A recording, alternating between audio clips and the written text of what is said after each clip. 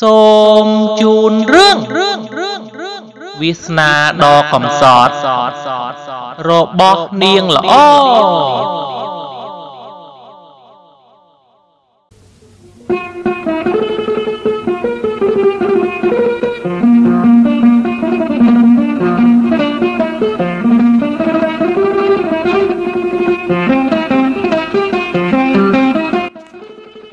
ពីព្រេងនាយមានរឿងមួយបានដំណាលមកថា មានស្ត្រីម្នាក់មានឈ្មោះសាណា មានរូបសម្រស់ស្រស់ស្អាតខ្លាំងណាស់បើបុរសណា បានឃើញសម្រស់របស់នាងហើយបេះដូងប្រកាសជារំជើបរំជួលជាមិនខាន ពួកគេចង់ឃើញតែមុខនាង ហើយចង់ឃើញទៀតចង់ឃើញមិនចេះចប់មិនចេះហើយហាក់ដូចជាត្រូវគ្រូស្នេហ៍ដកចិត្តមិនរួច ដោយហេតុតែនាងល្អយ៉ាងនេះទើបអ្នកស្រុកអ្នកភូមិប្រសិទ្ធនាមនាងថានាងល្អនាងគឺល្អទាំងរូបល្អទាំងចិត្តសប្បុរសធម៌មាននៅក្នុងចិត្តរបស់នាងជានិច្ចនាងកាន់សាសនាអ៊ីស្លាមយ៉ាងខ្ជាប់ខ្ជួនឯស្វាមីរបស់នាងឈ្មោះអាម៉ាត់ក៏កាន់សាសនាអ៊ីស្លាមផងដែរថ្ងៃមួយស្វាមីរបស់នាងក៏សម្រេចចិត្តទៅធ្វើបូជនីយកិច្ចនៅទីក្រុងឡាមិច ប្អូនប្រុសរបស់គាត់ឈ្មោះថាអាមីនជាអ្នកជួយមើលខុសត្រូវនាងល្អអាមីនយកចិត្តទុកដាក់ទំនុកបំរុងបងថ្លៃរបស់គេខ្លាំងណាស់គេគ្រប់គង់នាងមិនឲ្យខ្វះខាតអ្វីនោះឡើយជាច្រើនសប្តាហ៍បានកន្លងផុតទៅ នាងល្អល្អពេកល្អតតែប្អូនថ្លៃអត់ទ្រាំស្រឡាញ់មិនបានថ្ងៃមួយអាមីនក៏អង្វរលន់តួសុំសេចក្តីស្នេហាពីបងថ្លៃរបស់ខ្លួន។ តែនាងបានច្រានចោលនៅសំណើទាំងនេះ ចាប់តាំងពីថ្ងៃនោះមក នាងបានឈប់ទទួលយកនៅអំណោយទាំងអស់ដែលបុរសនោះយកមកឲ្យនាង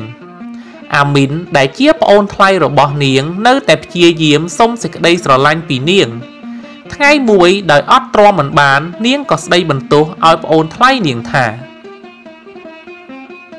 តានេះហើយឬភាពស្មោះត្រង់របស់ឯងចំពោះបងប្រុសរបស់ឯង តើឯងមានការអៀនខ្មាស់ដែរឬទេ ដែលឯងមកចាយចង់បងថ្លៃឯងឯងប្រមាថយើងដោយប្រមាថបងឯងមិនអីទេ បើនាងនៅតែចចេះមិនព្រមយកក្តីស្រឡាញ់ពីយើង នាងនឹងឃើញលទ្ធផលនៅថ្ងៃក្រោយជាមិនខានឡើយយើងមិនខ្លាចការពិតនៅតែការពិតដដែលមាសទឹកដប់មិនខ្លាចភ្លើង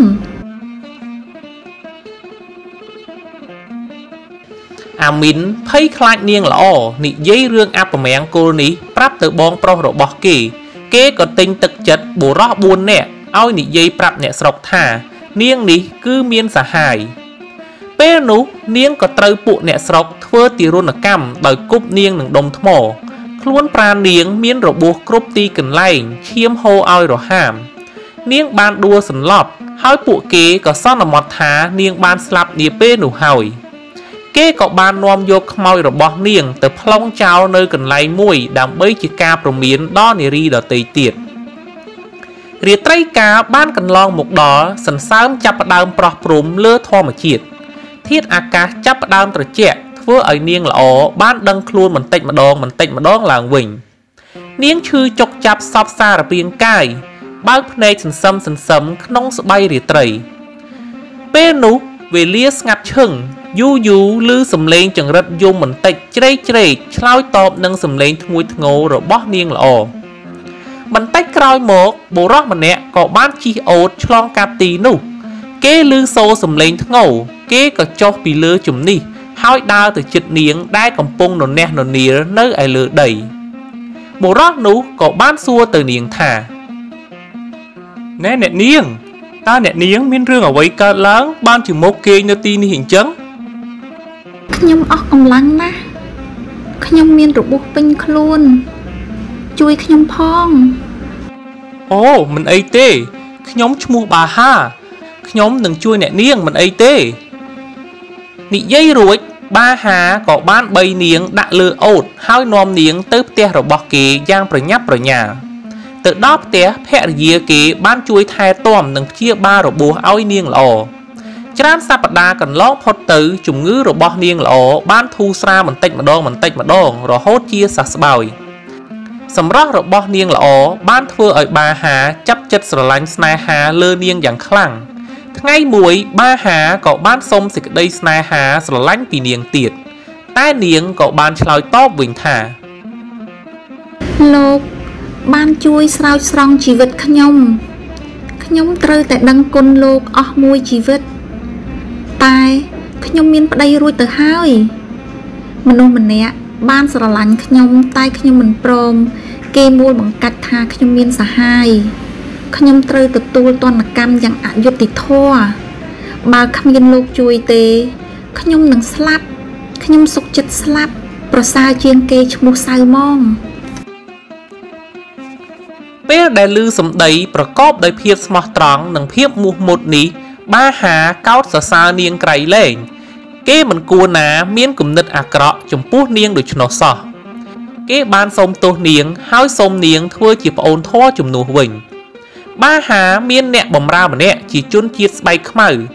នៅពេលដែលមនុស្សនេះបានឃើញមុខនាង គេក៏ធ្លាក់លើអន្លង់ស្នេហ៍របស់នាងទៀត ដោយមិនអាចដកចិត្តបាន គេក៏សម្រេចចិត្តទៅសុំសេចក្តីស្នេហាពីនាងទៀតបុរសនោះក៏បានចាប់ផ្ដើមនិយាយពាក្យស្នេហាទៅកាន់នាងល្អថាខ្ញុំគឺជារាត្រី នាងគឺជាដួងច័ន្ទព្រះច័ន្ទនឹងគ្មានពន្លឺទេបើគ្មានរាត្រីហេតុអ្វីបានជាយើងមិនរួមរស់ជាមួយគ្នាទៅហានាងល្អមិនបានជាដាច់ខាត ចៅវាយឯងបានសុំសេចក្តីស្នេហាពីខ្ញុំដោយឯងដែរតែខ្ញុំប្រកែកចំពោះឯងតើខ្ញុំអាចទទួលបានទេបើនាងមិនព្រមស្រឡាញ់ខ្ញុំខ្ញុំនឹងកម្ចាត់នាងឲ្យចេញពីផ្ទះនេះហើយត្រៀមខ្លួនឲ្យហើយទៅ ស្រេចនៅលើព្រំលិខិតចុះអ្នកបំរើនោះខឹងខ្លាំងណាស់ហើយសច្ចាថាត្រូវតែសងសឹកនិងចាត់ការនាងល្អឲ្យចេញពីផ្ទះឲ្យបាន យប់មួយដោយការឆេះឈួលដោយសេចក្តីស្នេហានិងពោពេញទៅដោយកំហឹងសងសឹកអ្នកបំរើក្រោកពីដំណេកដៃកាន់កំបិតហើយដើរលើបលោបចូលទៅក្នុងបន្ទប់ចៅវាយរបស់វាដោយកាន់កូនកំបិតជាមួយផង រួចក៏ចាក់សម្លាប់កូនរបស់ចៅវាយវា ដែលកំពុងដេកក្នុងអង្រឹងនោះទៅរួចមកវាក៏បានយកកំបិតនោះទៅលាក់នៅក្រោមគ្រែរបស់នាងល្អហើយវាចូលទៅដេកវិញដោយគ្មានលឺសូរសម្រាប់អ្វីបន្តិចឡើយ ព្រលឹមឡើង នាងម្ដាយលើកកូនពីអង្រឹងដើម្បីបំបៅដោះនាងក៏ឃើញកូនប្រឡាក់ទៅដោយឈាមក្រហមឆ្អៅនាងភ័យញ័ររន្ធត់ស្រែកទ្រហោយំសម្រែកយ៉ាងខ្លោចផ្សានេះបានដាស់អ្នកផ្ទះទាំងអស់ឲ្យភ្ញាក់ពីនិន្ទ្រាគេស្វះស្វែងរកឃាតករមួយរយៈពេលយ៉ាងខ្លី គេក៏បានរកឃើញកំបិតស្នៀតប្រឡាក់សិតតែឈាមនៅក្រោមគ្រែរបស់នាងកំសត់ គេទាំងអស់គ្នាបានចោទប្រកាន់នាងថា នាងជាពិរុទ្ធជនដែលសម្លាប់កូនង៉ែតនោះហើយនាងប្រពន្ធនិងអ្នកបំរើវាយដំច្រំធាក់នាងល្អឥតត្រាប្រណីអ្វីសោះឡើយនាងនឹងស្លាប់បើសិនជាបាហាខាត់អ្នកទាំងពីរមិនទាន់ពេលបាហាបានយកនាងទៅទុកក្នុងបន្ទប់របស់នាងហើយចាក់សោរួចគាត់យកកូនប្រុសតែមួយរបស់គាត់ទៅមន្ទីរពេទ្យ ជាសំណាងល្អគ្រូពេទ្យបានជួយសង្គ្រោះកូននោះឲ្យផុតពីសេចក្តីស្លាប់ពេលត្រឡប់មកដល់ផ្ទះវិញ បាហាបានសួរចម្លើយនាងដោយពាក្យផ្អែមល្ហែមគាត់បាននិយាយទៅកាន់នាងល្អថា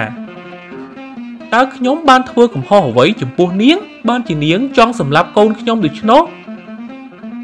ទេដែលដឹងរឿងពិតខ្ញុំបានទុកបងប្រុសបងស្រីជាបងបង្កើតរបស់ខ្ញុំ ខ្ញុំរស់នៅក្នុងផ្ទះនេះ ដើម្បីបម្រើបង ដើម្បីសងគុណបង សូមបងពិចារណាចុះបើខ្ញុំជាឃាតករតើខ្ញុំមានប្រយោជន៍អ្វីនឹងទុកកំបិតដែលប្រឡាក់ឈាមនៅក្រោមគ្រែរបស់ខ្ញុំបាហាជាមនុស្សមានសុភវិនិច្ឆ័យ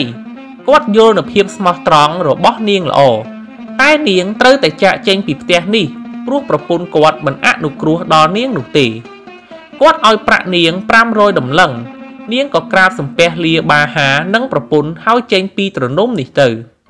ជាច្រើនសប្តាហ៍បានកន្លងផុតទៅ នាងបានទៅដល់កន្លែងមួយ ដែលមានមនុស្សច្រើនកកកមាននប់ម្នាក់មានទឹកមុខក្រៀមក្រំឈរចិត្តបង្គោលមួយរងចាំការព្យួរកព្រោះនាយគ្មានប្រាក់បងពុន នាងទទួលព័ត៌មានថានៅក្នុងស្រុកនេះបើអ្នកណាគ្មានប្រាក់500ដំឡឹងសម្រាប់បង់ពន្ធនោះទេ អ្នកនោះនឹងត្រូវគេយកទៅព្យួរកជាមិនខាននាងឃើញដូច្នោះមានសេចក្តីអាណិតបុរសនោះខ្លាំងណាស់ក៏បាននិយាយទៅកាន់បុរសចាស់នោះថាបើខ្ញុំបងពុនជំនួសគេតើគេរួចខ្លួនដែរឬទេ មិនអីទេក្មួយ ឲ្យតែក្មួយមានលុយបងគេរួចខ្លួនតែឥឡូវហ្នឹងមិនបងអង្គយូរនាងក៏យកប្រាក់500ដំឡឹងដែលបាហាបានឲ្យមកនាងទៅលួសអ្នកទោសនោះកំឡោះនោះក៏បានរួចខ្លួនភ្លាមនាងគ្មាននៅសល់មួយសេនណាឡើយប៉ុន្តែនាងមិនខ្វល់ពីខ្លួនឯងនោះឡើយគិតពីការសង្គ្រោះជីវិតមនុស្សសំខាន់ជាង នាងក៏បានធ្វើដំណើរទៅមុខទៀតឯអ្នកកំឡោះនោះ ក្រោយពីត្រូវគេដោះលែងបានរត់មកតាមនាង ដើម្បីសម្ដែងនៅការដឹងគុណប៉ុន្តែនៅពេលដែលគេបានឃើញទឹកមុខរបស់នាង គេក៏បានធ្លាក់នៅក្នុងអន្លង់ស្នេហ៍ដ៏ជ្រាលជ្រៅរបស់នាងម្នាក់ទៀតគេដើរតាមនាង អង្វរនាងសុំសេចក្តីស្នេហាពីនាង តែនាងល្អមិនយល់ព្រមនោះឡើយបុរសនោះបានសួរមកកាន់នាងល្អថាអ្នកនាង ហេតុអ្វីបានជាអ្នកនាងមកជួយខ្ញុំហេតុអ្វីទៅហេតុអ្វីក៏អ្នកនាងមិនអោយគេព្យួរកខ្ញុំឲ្យស្លាប់តែម្ដងទៅខ្ញុំច្បាស់ជាគ្មានការឈឺចាប់នោះទេ តែឥឡូវបើអ្នកនាងបដិសេធស្នេហារបស់ខ្ញុំដូច្នោះវាធ្វើឲ្យខ្ញុំឈឺចាប់ខ្លាំងណាស់នេះហើយឬ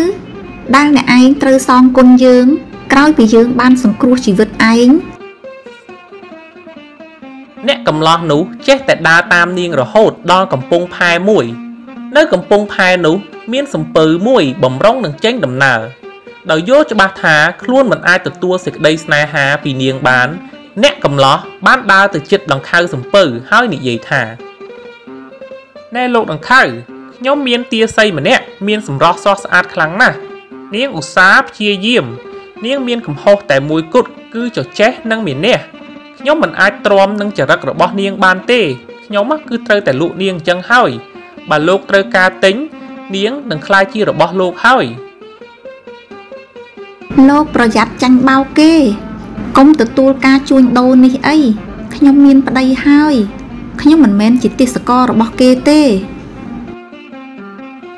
នាយសំពៅនោះមិនស្ដាប់សម្ដីរបស់នាងល្អនោះទេ គេក៏ទិញនាងតម្លៃ200តម្លឹងពីបុរសនោះ គេគំរាមកំហែងនាងឲ្យឡើងលើសំពៅជាមួយគេ ហើយសំពៅក៏ចេញពីកំពង់ផែទៅ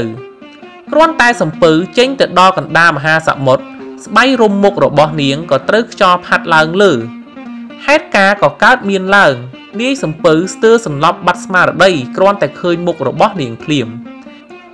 គេដើរទៅជិតនាងហើយនិយាយពាក្យស្នេហាជាមួយនាង តែត្រូវនាងប្រកែកយ៉ាងដាច់អហង្ការ ដោយនាយសំពៅចាប់បង្ខំនាង នាងក៏ស្រែកឲ្យគេជួយកម្មករនាវារត់ជ្រួលច្របល់ទៅកន្លែងកើតហេតុហើយប្រវាយប្រតបគ្នាពេញនោះខ្ញុំប្រកាន់ជាប់នៅសាសនាយ៉ាងត្រឹមត្រូវខ្ញុំមានប្តីហើយខ្ញុំមិនមែនជាទេសករទេ អ្វីដែលខ្ញុំនិយាយមានព្រះជាសាក្សីអ្នកទាំងអស់គ្នា មានម្ដាយមានបងស្រី មានប្អូនស្រី មានកូនស្រី ដែលរុំស្បៃដូចខ្ញុំដែរបើសិនជាមាននរណាមករំលោភអ្នកច្បាស់ជាមិនអត់ឲ្យឲ្យទេមែនទេពួកគេក៏ស្រែកគាំទ្រនាយល្អដោយនិយាយថាមែនហើយមែនហើយពិតជាត្រូវណាស់នាងនាងបានរៀបរាប់អំពីជីវិតដ៏អភ័ព្វរបស់នាងឲ្យកម្មករនាវាស្ដាប់ គេទាំងអស់គ្នាអាណិតនាងខ្លាំងណាស់ គេបានចាប់អុសនាយសំពៅចេញពីនាងប៉ុន្តែនៅពេលដែលខ្យល់បក់ផាត់ស្បៃមុខរបស់នាង គេទាំងអស់គ្នាឈរភ្លឹកស្ទើរភ្លេចដកដង្ហើម គេទាំងអស់គ្នាចោមរោមស្រឡាញ់នាង គេប្រកាប់ប្រចាក់គ្នាដើម្បីដណ្ដើមនាង នៅចំពោះមុខសភាពដ៏អាក្រក់នេះ នាងបានលើកដៃបួងសួងដល់ព្រះអាឡាជាម្ចាស់រំពេចនោះនាងក៏បានសន្លប់បាត់ស្មារតី ពេលនោះស្រាប់តែសមុទ្រចាប់ផ្ដើមរំជួយយ៉ាងខ្លាំងដោយមានអណ្ដាតភ្លើងឆេះសន្ធោសន្ធៅហហើយរលកធំធំបោកបក់យ៉ាងកក្រឹកកក្រែងលើសំពៅឈូសយកកម្មករទាំងអស់ទៅទម្លាក់ក្នុងសមុទ្រភ្លើងនៅសល់តែនាងល្អម្នាក់គត់នៅពេលដែលនាងដឹងខ្លួនសំពៅបានអណ្ដែតទៅក្បែរកំពង់ផែជាស្រេចដើម្បីជៀសវាងនៅឧបសគ្គជាយថាហេតុនាងក៏សម្រេចចិត្តតែងខ្លួនជាប្រុស មនុស្សដែលធ្វើការក្នុងកំពង់ផែមានការងឿងឆ្ងល់ជាខ្លាំងដោយឃើញសំពៅមួយដ៏ធំ មានអ្នកដំណើរតែម្នាក់គត់ក្រោយពីចងសំពៅស្រួលបួលហើយនាយកំពង់ផែក៏ចាប់ផ្ដើមសួរនាងល្អដែលគាត់ចាត់ទុកថាជាបុរសហើយគឺជាបុរសម្នាក់ដ៏សង្ហាថែមទៀតនាងក៏បានប្រាប់ថាមានតែព្រះរាជាទេទើបអាចដឹងពីរឿងនេះ គេក៏បានចូលទៅជួបព្រះរាជា នៅចំពោះព្រះភ័ក្ត្រព្រះរាជា នាងទូលព្រះអង្គថា ក្រោយពីមានព្យុះភ្លើងកើតឡើងបុគ្គលិកនៅក្នុងសំពៅទាំងប៉ុន្មានស្លាប់អស់ហើយមិនដឹងជាយ៉ាងដូចម្ដេចនោះទេព្រះពាយក៏រុញច្រានសំពៅមកដល់កំពង់ផែនេះនាងបន្តទៀតថាព្រះបានជួយស្រោចស្រង់ជីវិតរបស់នាង ហើយនាងពិតជាមានសេចក្តីសប្បាយរីករាយនៅក្នុងការរស់រានមានជីវិតនេះណាស់ របស់របរដ៏មានតម្លៃនៅក្នុងសំពៅទាំងអម្បាមាននាងសូមថ្វាយបង្គំជូនទៅព្រះរាជាទាំងអស់ប៉ុន្តែនាងសូមព្រះរាជា នៅផ្ទះតូចមួយខ្នងនៅឆ្ងាយពីទីក្រុង ដើម្បីធ្វើសមាធិស្ដេចបានស្ដាប់ការរៀបរាប់របស់នាងល្អហើយក៏យល់ព្រមតាមសំណូមពរប៉ុន្មានខែក្រោយមកព្រះករុណាប្រឈួនជាទងន់ព្រះអង្គគ្មានបុត្រាបុត្រី ថ្ងៃមួយទ្រង់មានបន្ទូលទៅកាន់នាម៉ឺនសពមុខមន្ត្រីឲ្យប្រគល់រាជសម្បត្តិទៅអ្នកកំឡោះដែលធ្វើសមាធិនៅប្របមាត់ព្រៃគ្រាន់តែផ្ដាំហើយបានមួយរំពេចទ្រង់ក៏សុគតទៅ ក្រុមជំនុំរាជសម្បត្តិក៏បង្ខំនាងល្អឲ្យឡើងសោយរាជតាមព្រះរាជបណ្ដាំទោះជានាងប្រកែកយ៉ាងណាក៏ដោយមន្ត្រីក្នុងរាជវាំងនាំកូនក្រមុំដ៏ល្អរបស់ខ្លួនទៅថ្វាយស្ដេចដើម្បីលាភសក្ការៈ ស្ដេចថ្មីសម្លឹងមើលនាងម្នាក់ម្ដងម្នាក់ម្ដងដោយទឹកមុខញញឹមធ្វើឲ្យពួកនាងអៀនមុខឡើងក្រហមស្ដេចថ្មីនោះក៏បានដោះឈ្នួតក្បាលយឺតយឺតរួចរលាស់សក់វែងអន្លាយបន្តិចម្ដងបន្តិចម្ដង ហើយទម្លាយរឿងសម្ងាត់របស់ខ្លួនប្រាប់ទៅនាងនោះ ពួកនាងនាងស្រឡាំងកាំងគេយកដំណឹងនេះទៅជម្រាបឪពុករបស់គេគ្រប់គ្រប់គ្នានាម៉ឺនសោកមុខមន្ត្រីមានការភ្ញាក់ផ្អើលយ៉ាងខ្លាំង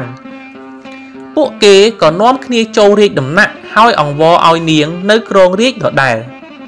នាងល្អមិនចង់សោយរាជនោះទេ នាងបានតែងតាំងលោកមហាមន្ត្រីម្នាក់ដែលស្មោះត្រង់និងស្រឡាញ់យុត្តិធម៌ឲ្យគ្រប់គ្រងរាជបល្ល័ង្កជំនួសនាង ហើយនាងសូមត្រឡប់ទៅសំណាក់ធរដើម្បីតាំងសមាធិវិញនិយាយពីអាម៉ាត់ដែលជាប្តីរបស់នាងនោះបានត្រឡប់មកពីទីក្រុងឡាមិចវិញ គាត់មានការតក់ស្លុតយ៉ាងខ្លាំងនៅពេលឃើញប្អូនប្រុសរបស់គាត់បានคล้ายទៅជាមនុស្សខ្វិនហើយខ្វាក់ទៀតប៉ុន្តែប្អូនគាត់បាននិយាយអំពីដំណើរផិតក្បត់របស់ភរិយារបស់គាត់បុរសកំសត់ហាក់ដូចជាត្រូវភ្នំរលំសង្កត់លើគាត់មានការឈឺចាប់ខ្លាំងណាស់ណាមួយមានការតូចចិត្តនឹងប្រពន្ធដែលក្បត់ចិត្តណាមួយគាត់ព្រួយបារម្ភពីការបាត់បង់ជីវិតរបស់ប្រពន្ធគាត់ អាម៉ាត់អង្គុយបង្ហូរទឹកភ្នែកដោយចិត្តឈឺចាប់និងវាសនាដ៏អាក្រក់របស់គាត់ទោះបីជាគាត់ហួសចិត្តនឹងអំពើក្បត់របស់ប្រពន្ធគាត់យ៉ាងណាក៏ដោយក៏គាត់នៅតែកាន់ទុកឲ្យប្រពន្ធគាត់ដែរជាច្រើនសប្តាហ៍បានកន្លងផុតទៅ អាម៉ាត់បានធូរស្រាលពីទុកព្រួយខ្លះខ្លះគាត់រិះរកមធ្យោបាយដើម្បីព្យាបាលជំងឺរបស់ប្អូនប្រុសគាត់ ពេលគាត់ត្រឡប់ពីទីក្រុងឡាមិចមិញគាត់បានឮគេនិយាយថា មានលោកយាយក្មេងម្នាក់មានឫទ្ធិស័ក្តិសិទ្ធិខ្លាំងណាស់គ្រាន់តែគាត់បន់ស្រន់និងសូត្រធម៌អ្វីអ្វីទាំងអស់នឹងបានសម្រេចដោយបំណងហើយមានមនុស្សខ្វាក់និងខ្វិនជាច្រើនបានទៅមើលឃើញហើយបានដើរចេញមកវិញយ៉ាងដូចបំណងអាម៉ាត់ចង់នាំប្អូនប្រុសរបស់គាត់ទៅព្យាបាលក្រែងបានជាសះស្បើយនឹងគេគាត់ក៏បានរៀបចំឲ្យប្អូនប្រុសរបស់គាត់អង្គុយលើលារួចហើយចាប់ផ្ដើមចេញដំណើរទៅ ជាចៃដន្យនៅពេលដែលគាត់ធ្វើដំណើរមកដល់ផ្ទះបាហារាត្រីកាលក៏មកដល់គាត់ក៏សុំសំណាក់នៅផ្ទះនោះមួយយប់បាហាក៏បានសួរទៅអាម៉ាត់ថាណែលោកតើលោកដឹកបុរសពិការនេះទៅណាដែរអូគាត់គឺជាប្អូនប្រុសរបស់ខ្ញុំគេគឺខ្វាក់ភ្នែកផងហើយនឹងខ្វិនផងមិនដឹងជាមូលហេតុអ្វីទេ ឥឡូវនេះខ្ញុំនឹងយកគេទៅឲ្យលោកយាយក្មេងដែលគេល្បីថាពូកែព្យាបាលនោះតើលោកស្គាល់គាត់ទេអូខ្ញុំមិនស្គាល់គាត់ទេ ជួនអីម្លេះខ្ញុំក៏មានទាសករម្នាក់មានជំងឺដោយប្អូនលោកដែរខ្ញុំនឹងនាំគេទៅព្យាបាលជាមួយប្អូនប្រុសរបស់លោកដូចគ្នាព្រលឹមស្រាងស្រាង គេទាំងអស់គ្នាក៏ចាប់ផ្ដើមចេញដំណើរទៅ ទេសកាលអីអ្នកដំណើរទាំងអស់នោះបានទៅសុំស្នាក់នៅផ្ទះកំឡោះដែលនាងសាណាបានជួយឲ្យរួចផុតពីការជួកយាយម្ចាស់ផ្ទះនៅពេលដែលឃើញបុរសពិការទាំងពីរគាត់ក៏សម្រក់ទឹកភ្នែកគាត់ប្រាប់គេថាកូនគាត់ក៏ខ្វាក់នឹងខ្វិនដែរគាត់ក៏សុំទៅជាមួយពួកគេស្អែកឡើងយាយចាស់បានដាក់កូនកំឡោះលើខ្នងអូតហើយធ្វើដំណើរទៅជាមួយគេរហូតដល់អាស្រមលោកយាយក្មេង នាងល្អកំពុងដងទឹកអណ្ដូងនាងឆ្ងល់ណាស់ហេតុអ្វីបានជាប្តីនាងមកដល់ទីនេះ ជាមួយគ្នានោះសេចក្តីសប្បាយរីករាយឥតឧបមាក៏កើតមានឡើងភ្លាមដែរនៅក្នុងសន្តានចិត្តរបស់នាង នាងយកស្បៃរុំមុខនាងដើរចេញមកទទួលភ្ញៀវនៅពេលនោះហើយដែលនាងស្គាល់ច្បាស់សត្រូវស្លាប់រស់របស់នាងទាំង3នាក់នាងក៏បានស្រែកសួរទៅប្តីរបស់នាងឈ្មោះអាម៉ាត់ថា តើលោកអញ្ជើញមកទីនេះមានការអ្វីដែរអូខ្ញុំបាទមកទីនេះសូមឲ្យលោកយាយជួយព្យាបាលជំងឺរបស់ប្អូនប្រុសខ្ញុំផងបើគេព្រមសារភាពនៅទោសកំហុសគេនឹងបានជាសះស្បើយភ្លាមអាម៉ាត់ឬលោកយាយនិយាយដូច្នោះក៏អង្វរឲ្យប្អូនប្រុសសារភាពពីទោសកំហុសដែលធ្លាប់មាន អាមីនជាប្អូនប្រុសមិនព្រមសារភាពនោះទេទោះបីជាគេត្រូវស្លាប់ក៏ដោយមនុស្សជាច្រើនបាននិយាយឲ្យបុរសនេះម្នាក់មួយម៉ាត់ម្នាក់មួយម៉ាត់រហូតដល់គេព្រមសារភាពអាម៉ាត់គ្រាន់តែលឺប្អូនប្រុសរបស់ខ្លួនសារភាពនៅទោសកំហុសហួសចិត្តនឹងអំពើថោកទាបរបស់ប្អូនប្រុសយ៉ាងខ្លាំងតែក្នុងនាមជាបងប្រកបដោយព្រំវិហារធរអាម៉ាត់ក៏សុកចិត្តអត់ទោសឲ្យប្អូនប្រុសរបស់គេ នាងល្អក៏បានធ្វើពិធីបន់ស្រន់ទៅដល់ព្រះ ជនពិការក៏មើលឃើញនឹងដើរបានវិញ ចំណែកទាសករនិងអ្នកកំឡោះដោយមានការបង្ខំរបស់ម្ចាស់និងម្ដាយរបស់គេ អ្នកទាំងពីរក៏ព្រមសារភាពដែរដូចមុននាងល្អក៏បានសូត្រធម៌អង្វរព្រះពួកគេទាំងពីរក៏បានជាសះស្បើយរួចរាល់ហើយលោកយាយក្មេងបានឲ្យអាម៉ាត់ចូលទៅក្នុងផ្ទះជាមួយអាម៉ាត់សន្លប់បាត់ស្មារតី ពេលនាងដោះស្បៃមកចេញក្រោយពីដឹងខ្លួនឡើងវិញអាម៉ាត់ក៏និយាយថាអើលោកយាយលោកយាយមើលទៅ ហាក់ដូចជាប្រពន្ធរបស់ខ្ញុំបេះបិទតែប្រពន្ធរបស់ខ្ញុំ នាងបានស្លាប់បាត់ទៅហើយប្រពន្ធបងមិនស្លាប់ទេ គឺខ្ញុំសាណាសាណាប្រពន្ធបងគ្រាន់តែលឺនាងនិយាយដូច្នោះអាម៉ាត់ស្ទុះទៅអោបប្រពន្ធមួយរំពេច នាងនិយាយរឿងរ៉ាវទាំងអស់ប្រាប់ទៅស្វាមីហើយនាងបន្តប្រាប់ទៅប្តីឲ្យមានចិត្តអំណត់សប្បុរសមិនប្រកាន់មិនសងសឹកនាងពិតជាដឹងច្បាស់ថានៅលើលោកនេះគឺអ្វីអ្វីនឹងធ្វើឡើងដោយអំពើល្អជានិច្ចគ្រាន់តែនាងសាណាបង្ហាញមុខភ្លាម អាមីនមាននប់និងទាសករស្បែកខ្មៅភ្ញាក់ដូចជាជន់ពោះវែកពួកគេលុតជង្គង់អង្វរសុំការលើកលែងទោសពីនាង នាងសុកចិត្តអត់ទោសឲ្យពួកគេទាំងអស់គ្នា ដោយបានសូមអង្វរព្រះឲ្យពួកគេអាចមើលឃើញនិងដើរបានឡើងវិញក្រោយមកនាងល្អបានលើកស្វាមីរបស់នាងឲ្យឡើងគ្រងរាជសម្បត្តិចំណែកលោកមហាមន្ត្រី នាងតែងតាំងជានាយករដ្ឋមន្ត្រី នាងបានឲ្យទ្រព្យសម្បត្តិយ៉ាងច្រើនដល់បាហាហើយបោះបង់ការសំណាក់ធរដើម្បីរស់នៅក្បែរស្វាមីរបស់នាងយ៉ាងមានសេចក្តីសុខក្នុងនគរនាពេលនោះទៅ។